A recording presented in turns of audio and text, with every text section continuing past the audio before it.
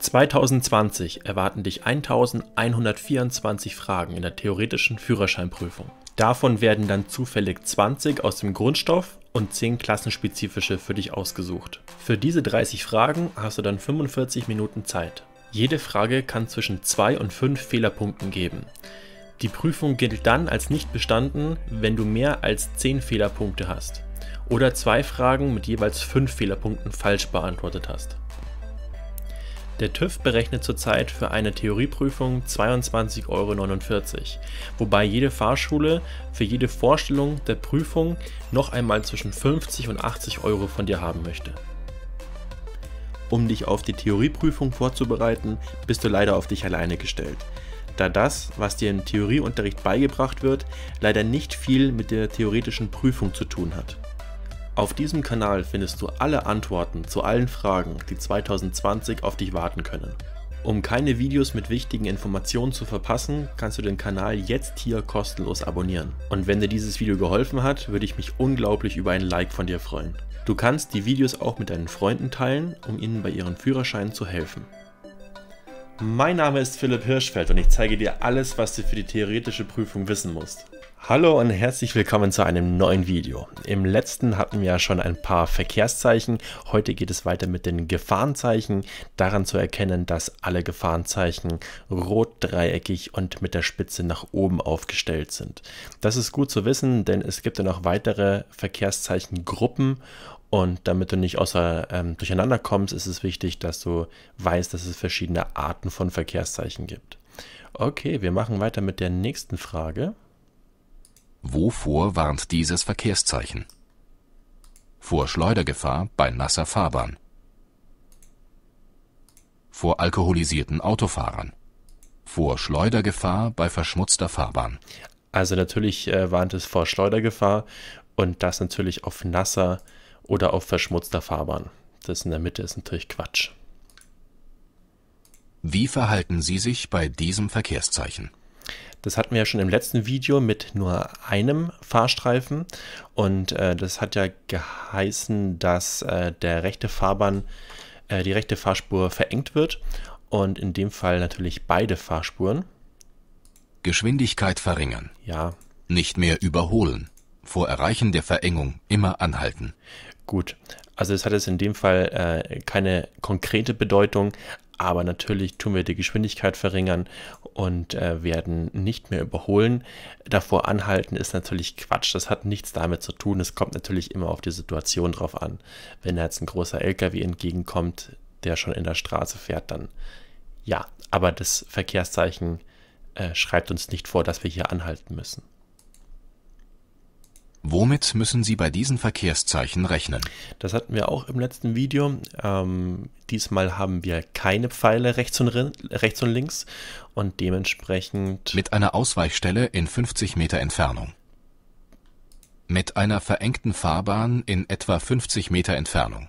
Mit einer verengten Fahrbahn von 50 Meter Länge. Okay, weil wir rechts und links keine Pfeile haben, beginnt diese Situation in 50 Metern. Hätten wir rechts und links Pfeile im Zusatzzeichen, dann wäre es auf eine Länge von 50 Metern. Womit müssen Sie bei diesem Verkehrszeichen rechnen? Mit Baumaterial auf der Fahrbahn?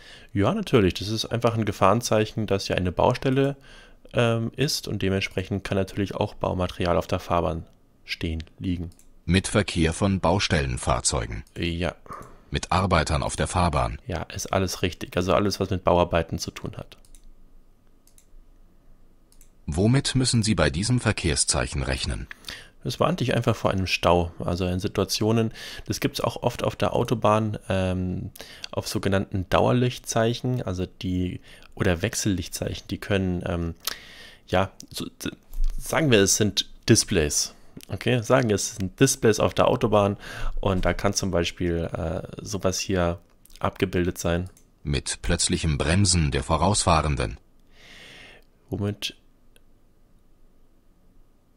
müssen wir rechnen? Ja, ja, auf jeden Fall mit plötzlich Bremsen, okay? Also das warnt dich ja vor Stau und dementsprechend ähm, kann es sein, dass sie plötzlich bremsen. Mit Erweiterung der Fahrbahn auf drei Fahrstreifen. Nein. Mit einem Stau. Ja, also es geht ja davon dann hinaus. Worauf weist dieses Verkehrszeichen hin? Das ist eine Ampel. Auf einen Bahnübergang mit rotem Blinklicht. Auf eine Zollstelle. Auf eine Ampel. Also, wie gesagt, das ist einfach eine Ampel. Kann zum Beispiel hinter einer Kurve stehen, also die Ampel hinter einer Kurve und vor der Kurve hast du dann dieses Verkehrszeichen. Oder einfach an einer unübersichtlichen Stelle. Worauf weisen diese Verkehrszeichen hin? Das ist ein Bahnübergang und äh, darunter hast du ein Zusatzzeichen. Und zwar, wenn du rechts abbiegst, dann kommst du zu diesem Bahnübergang.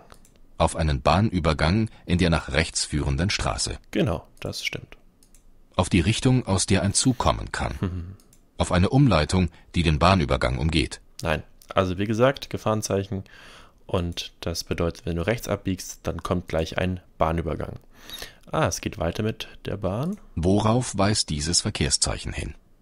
Auf einen Bahnübergang in etwa 160 Meter Entfernung. Auf einen Bahnübergang in etwa 240 Meter Entfernung. Auf einen Bahnübergang in etwa 80 Meter Entfernung. Also aufpassen, im Schienenverkehr stehen diese Barken für jeweils 80 Meter und 80 und 80 sind 160. Äh, die Barken gibt es auch dreistreifig oder nur einstreifig. Okay, und zwei Stück sind dann in dem Fall 160 Meter. Worauf weist dieses Verkehrszeichen hin? Gut, ich lasse jetzt nicht mal vorlesen. 80 Meter. Dann kommt bestimmt auch noch die dreistreifige. Nein, doch nicht. Das ist das Andreaskreuz. Und das Andreaskreuz sagt dir, dass der Schienenverkehr Vorrang hat. In welchem Fall müssen Sie vor diesem Verkehrszeichen warten? Wenn ein Bahnbediensteter eine weiß-rot-weiße Fahne schwenkt. Genau, das hatten wir ja auch schon mal in einem Video davor. Übrigens, rechts oben auf diesem i kommst du dann auf die Playlist. Äh, falls du ein Video verpasst hast, da sind dann alle Videos ähm, mit allen Fragen. Wenn sich ein Schienenfahrzeug nähert. Wenn Sie den Übergang nicht überqueren können, ohne auf ihm anhalten zu müssen. Wie verhalten Sie sich bei diesem Verkehrszeichen? Okay, so eins hatten wir noch nicht. Das ist blau und rund und blau und rund ist ein Gebotszeichen und sagt dir immer, was du tun musst. In dem Fall musst du rechts abbiegen. Das bedeutet, dass du die Geschwindigkeit anpassen musst und dass du natürlich auch das anzeigen musst, dass du rechts abbiegen möchtest. Also sprich den Blinker rechts setzen. Sie dürfen nicht nach rechts abbiegen. Sie müssen die Fahrtrichtungsänderung nach rechts anzeigen. Okay, du musst es anzeigen. Sie dürfen nur nach rechts weiterfahren. Das ist auch richtig. Wie verhalten Sie sich bei diesem Verkehrszeichen? Sie müssen die Fahrtrichtungsänderung nach links anzeigen. Sie dürfen nicht nach links weiterfahren. Sie dürfen nur nach links weiterfahren. Also natürlich dürfen wir nach links weiterfahren und natürlich müssen wir es auch ankündigen. In welche Richtungen dürfen Sie weiterfahren? Okay, ich glaube, es ist geschenkt, gerade und rechts. Wie müssen Sie sich bei diesem Verkehrszeichen verhalten? Sie müssen an Verkehrsinseln rechts vorbeifahren. Ja, das ist richtig. Das gibt es manchmal auf der Straße, wenn so eine Überquerungshilfe für Fußgänger mitten auf der Straße steht, dann ähm, weißt du, dass du an dieser Insel rechts vorbeifahren musst. Sie dürfen vor diesem Zeichen nicht nach links abbiegen. Achtung, wir dürfen vor diesem Zeichen natürlich nach links abbiegen. Okay, also stell dir eine Straße vor, von mir aus eine Kreuzung und ja, in der Nähe der Kreuzung ist eine Insel, auf der die Fußgänger ähm, ja warten können, bis der Verkehr, bis kein Verkehr mehr kommt und dann weiterhin die Straße überqueren. Und äh, natürlich dürfen wir vor dieser Insel auch links abbiegen. Aber wir müssen, wenn wir weiterfahren wollen, an dieser Insel rechts dran vorbeifahren. Sie dürfen vor diesem Ja. Zeichen nicht nach Ja, links Entschuldigung, abbiegen. Entschuldigung, doch, das stimmt nicht, ja. Dürfen. Sie sind verpflichtet, nach rechts abzubiegen. Nein. Und äh, wie gesagt, abbiegen wäre dieses Verkehrszeichen gewesen. Hier müssen wir abbiegen und hieran wird vorbeigefahren. Jetzt sind die Haken wieder weg. Sie nähern sich einer so gekennzeichneten Haltestelle. Wie verhalten Sie sich, wenn Sie dort Kinder sehen? Eine Verminderung der Geschwindigkeit ist nur erforderlich, wenn dort ein Schulbus hält. Nein, also wenn schon Kinder in der Nähe sind, dann natürlich nicht. Die Geschwindigkeit muss nicht vermindert werden, wenn ein Bus in einer Haltebucht hält. Geschwindigkeit vermindern und bremsbereit bleiben. Genau. Also grundsätzlich, wenn du Kinder am Fahrbahnrand siehst, die da irgendwie Blödsinn machen oder ähm, wenn irgendwas mit Bussen, also wo Leute über die Straße rennen können einfach, das ist sehr gefährlich. Was müssen Sie bei diesem Verkehrszeichen beachten? Das ist eine Fußgängerzone, habe ich auch im letzten Video erwähnt, äh, wo es um das Thema Vorfahrt ging. Da gab es ja mehrere Ausnahmen, wann die Regel rechts vor links nicht gilt. Und wenn du aus einer Fußgängerzone rausgefahren kommst, also grundsätzlich ist es ja nicht erlaubt, dort drin zu fahren, mit dem Auto, sagen wir mal. Aber manchmal gibt es Ausnahmen und wenn du da wieder rauskommst, dann gilt die Regel rechts vor links nicht. Diese Fußgängerzone dürfen Sie mit einem Kraftfahrzeug nicht befahren. Das ist richtig. Ja, wie gesagt, es gibt Ausnahmen, aber normalerweise nicht. In dieser Fußgängerzone dürfen Sie mit einem Kraftfahrzeug mit Schrittgeschwindigkeit fahren. Als Anlieger dürfen Sie in dieser Fußgängerzone mit Kraftfahrzeugen fahren. Also grundsätzlich darfst du hier drin nicht fahren. Ähm, es gibt eine Ausnahme, da ist dann drunter ein Zusatzzeichen und dann steht da zum Beispiel ja Lieferverkehr frei oder für Medikamente oder ja meistens Lieferverkehr und dann auch eine Uhrzeit oder so. Aber ansonsten nicht. So, jetzt haben wir Rund und Rot und Rund und Rot ist gleich Verbot. Womit darf man hier nicht fahren?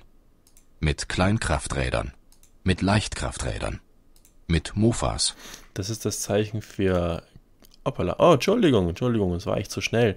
Ähm, das ist das Zeichen für Mofas. Es gibt, es kommt bestimmt gleich noch. Naja, blöd. Ähm, Habe ich jetzt so schnell reagiert? Macht nichts, nur zwei Fehlerpunkte. nee, echt blöd. Ähm, da gibt es verschiedene ähm, Bilder da drauf. Also es ist ein einspuriges Kraftrad. Das Ganze gibt es noch ein bisschen dicker und dann nochmal dicker. Und ähm, das mit dem Mofa habe ich jetzt gar nicht wirklich wahrgenommen. Also das Mofa ist natürlich das kleinste. Dann kommt das Klein, äh, Kleinkraftrad und dann kommt das Leichtkraftrad. Das Leichtkraftrad ist, ähm, habt ihr vielleicht schon mal gehört, eine 125er. Okay, also so ein A1-Führerschein. Das Kleinkraftrad ist ein Roller, also so ein kleines Ding mit 50 Kubik und 45 km/h Höchstgeschwindigkeit. Und ein Mofa ist halt ja ein Mofa, wo halt so Pedale dran sind und äh, maximal 25 km/h fährt. Ja, das war jetzt dumm. Ah, okay. Und rund und rot ist ein Verbotszeichen und sagte, dass hier in dem Fall keine Mofas fahren dürfen. Was müssen Sie bei diesem Verkehrszeichen beachten? Das bedeutet Verbot der Einfahrt. Sie dürfen in diese Straße einfahren. Sie dürfen nicht in diese Straße einfahren. Aus dieser Straße können Fahrzeuge kommen. Ja klar, wir dürfen nicht reinfahren, aber dennoch können aus dieser Straße Fahrzeuge rauskommen. Was haben Sie bei diesem Verkehrszeichen zu beachten? So, das ist ein Halteverbot. Das gibt es auch nur mit nur einem Balken. Dann wäre es das eingeschränkte Halteverbot aber im Halteverbot ist zu beachten. Sie dürfen halten zum B- oder Entladen. Nein, das dürfen wir hier nicht. Das wäre nur im eingeschränkten Halteverbot der Fall. Sie dürfen nicht halten. Genau, wir dürfen nicht halten. Sie dürfen halten, um Mitfahrer aussteigen zu lassen. Und das wäre auch nur im eingeschränkten Halteverbot der Fall. Ja, das ist dieses, okay? Eingeschränktes Halteverbot und Halteverbot. Was ist bei diesem Verkehrszeichen erlaubt? Das Halten zum Be- oder Entladen sowie zum Ein- oder Aussteigen. Ja. Das Parken, wenn eine Parkscheibe benutzt wird. Achtung, das Parken ist nicht erlaubt. Das Halten ist erlaubt. Und zwar eingeschränkt bis. Das Halten bis zu drei Minuten. Okay, also bis drei Minuten darfst du dort halten, ein- und aussteigen und B- und entladen ist dort erlaubt. Was ist bei diesem Verkehrszeichen erlaubt? Mit einem Parkschein aus einem Parkscheinautomaten darf hier jeder unbegrenzt parken. Nein, natürlich nur, wenn du den Parkausweis mit der Nummer hast. Das Halten zum Ein- oder Aussteigen für jeden. Schwerbehinderte mit entsprechend nummeriertem Parkausweis dürfen hier parken. Genau, also du darfst natürlich ähm, wie üblich ein- und aussteigen und B- und entladen. Und wenn du diesen Parkausweis hast als Schwerbehinderter mit dieser Nummer da drauf, die jetzt hier zugedeckt ist, dann darfst du natürlich auch dort parken. Steht ja auch hier auf dem Zusatzzeichen drauf. Wie verhalten Sie sich bei diesem Verkehrszeichen? Okay, wir haben wieder ein Verbotszeichen. Kleiner Tipp.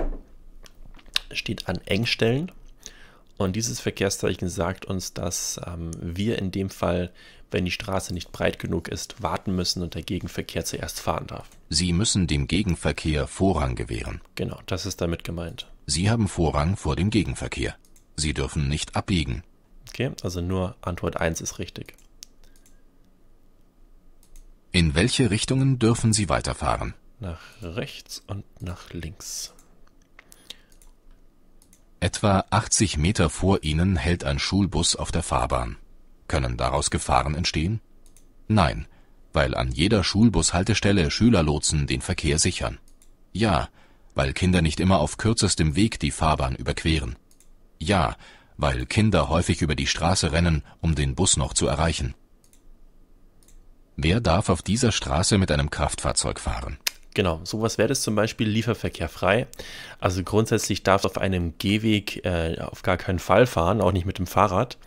Aber in dem Fall, wenn du einen Lieferschein hast und dann da reinfahren darfst, dann dürfen. Wer Waren liefern muss. Wer etwas einkaufen will. Wer jemanden besuchen will. Ja, also Lieferverkehr frei, dementsprechend. Wer Waren liefern muss. Welche Fahrzeuge dürfen den so gekennzeichneten Sonderfahrstreifen benutzen? Total einfach. Auf dem Bild ist ein Bus zu sehen, dementsprechend nur Linienbusse. Nur Linienbusse. Okay, blau und rund, Gebotszeichen. Wenn ein Pfeil nach rechts äh, markiert ist auf diesem Zeichen, darfst du nur rechts abbiegen, nach links, nur links, geradeaus und so weiter. Ist da ein Bus drauf zu sehen, nur Busse. Wer darf in eine so beschilderte Straße einfahren? Also grundsätzlich niemand, aber das Zusatzzeichen erlaubt, dass alle, die ein Anliegen haben, dort reinzufahren, auch reinfahren dürfen. Besucher der Bewohner. Genau, das wäre ein Anliegen. Bewohner. Das wäre auch ein Anliegen. Fahrzeuge im Durchgangsverkehr. Und das wäre kein Anliegen. Also damit ist gemeint, dass du einfach durchfährst, weil es für dich kürzer wäre oder so. Ja, das ist hier nicht erlaubt. Fährst du in der Prüfung da rein, ist die Prüfung übrigens gelaufen für dich. Welche Fahrzeuge dürfen eine so beschilderte Straße nicht befahren? Das ist nicht ganz so einfach. Und zwar Verbot für mehrspurige Kraftfahrzeuge bedeutet dieses Verkehrszeichen. Und ähm, es dürfen Pkw, Lkw, Motorräder. Also anders wie auf diesem blauen Zeichen darf auf dem hier kein Pkw reinfahren, klar, ist ja auch abgebildet, aber auch kein Lkw. Also nochmal ganz kurz zu der Bedeutung. Verbot für mehrspurige Kraftfahrzeuge. Ähm, stell dir vor, du fährst mit deinem mit dem Motorrad durch Schnee. Dann hinterlässt du eine Spur. Fährst du mit dem Auto durch den Schnee, hinterlässt du zwei Spuren. Fährst du mit dem LKW durch den Schnee, hinterlässt du auch zwei Spuren. Also mehrspurig. Okay, Verbot für mehrspurige Kraftfahrzeuge Pkw, Lkw, Motorrad natürlich nicht. Welche Fahrzeuge dürfen eine so beschilderte Straße nicht befahren? Das ist natürlich einfach. Fahrräder. Ja, in dem Fall kein Motorrad. Also da ist nur das Fahrrad richtig. Welche Fahrzeuge dürfen eine so beschilderte Straße nicht befahren? So, und jetzt sind wir bei dem Thema ähm, hier hatten wir das Mofa, ja, das ist wesentlich dünner als dieses hier. Moment, wo ist es? Da. Und dann gibt es noch ein Zwischending, aber das hier ist ein Motorrad. Motorräder. Da dürfen nur keine Motorräder durchfahren. Fahrräder dürfen durchfahren, Mofas dürfen durchfahren. Äh, Entschuldigung, Entschuldigung, Entschuldigung, Entschuldigung. Es ist doch komplizierter und zwar es ist ein Verbot für einspurige Krafträder. Das heißt, wenn dieses Verkehrszeichen angebracht ist, dann dürfen alle Fahrzeuge, die klein, also die, die, ja, kleiner ist das falsche Wort, ähm, darunter stehen, also sprich ein Roller oder ein Mofa oder ein Kleinkraftrad, Leichtkraftrad, dürfen dann nicht durchfahren. Verbot für einspurige Krafträder. Kommt bestimmt später nochmal. Worauf weisen diese Verkehrszeichen hin? Keine Pfeile, also natürlich in 100 Metern auf das Verbot der Einfahrt in 100 Meter Entfernung. Gut, das ist die einzigste richtige Antwort. Worauf weist dieses Verkehrszeichen hin? Das ist eine 30er-Zone. Hier beginnt eine Zone mit einer Richtgeschwindigkeit von 30 Kilometer pro Stunde. Achtung, es ist keine Richtgeschwindigkeit, es ist die zulässige Höchstgeschwindigkeit. Hier beginnt eine Zone mit einer zulässigen Höchstgeschwindigkeit von 30 Kilometer pro Stunde. Okay, und die Mindestgeschwindigkeit, die würde auch anders ausschauen. Die sieht blau aus. Hier beginnt ein verkehrsberuhigter Geschäftsbereich. Wie müssen Sie sich verhalten? Höchstparkdauer beachten. Genau, wir haben hier ein Zusatzzeichen mit einer Parkscheibe zwei Stunden. Dementsprechend darf ich nicht länger als zwei Stunden hier parken. Auf regen Fußgängerverkehr besonders achten. Ähm, ja, auf jeden Fall. Mindestgeschwindigkeit von 20 Kilometer pro Stunde einhalten. Also wie gesagt, Mindestgeschwindigkeit wäre dann blau und rund.